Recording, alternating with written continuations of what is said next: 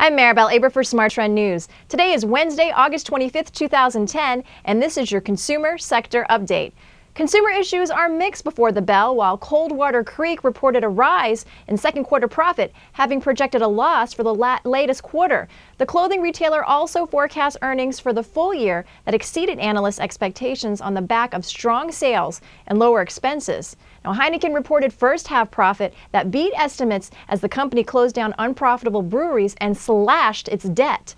Mechanics at American Airlines, which is a subsidiary of AMR, authorized union leaders to call a strike as they rejected a three year contract.